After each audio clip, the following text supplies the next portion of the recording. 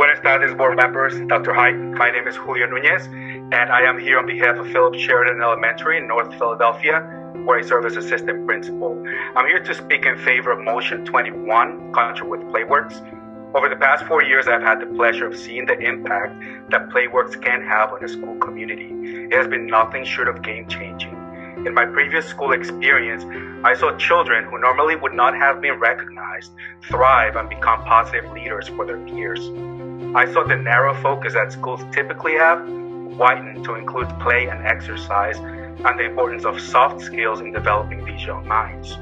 With the help of caring coaches, a thoughtful structure, and prioritized playtime, Playworks helped create a culture that to this day adds to the experience of each child and continues to promote leadership opportunities for children who need it the most. My experience at Sheridan has not been much different. We also see plays as instructional time, essential to child development. Last year, during its first year at Sheridan, Playworks program changed attitudes from the children to the families and teachers, all the way to the leadership team. For many of our students, recess, class game time, basketball games, junior coaching are the only time, I say the only time, where they can be kids where they don't have to contend with the trauma some carry or the challenging situations they live daily. It is Israel, children's prolonged screen time has become a serious concern.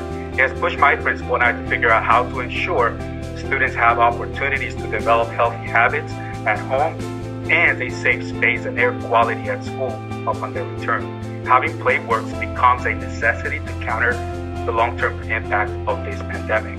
A recent CDC report released just last month concluded that, quote, almost all of the US kids and teens who have died from COVID 19 were Hispanic or Black.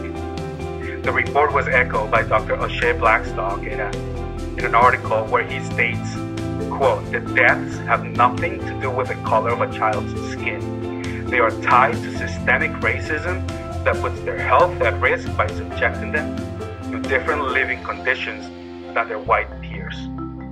Having Playworks again this year would allow our school to continue with its sharp focus on children's physical activity and healthy habits and on countering the systemic disparities. I urge to vote in favor of partnering with Playworks once more and to continue supporting initiatives to dismantle structures and mindsets that keep students from opportunities develop healthy habits and of realizing their full potential. Gracias y buenas noches.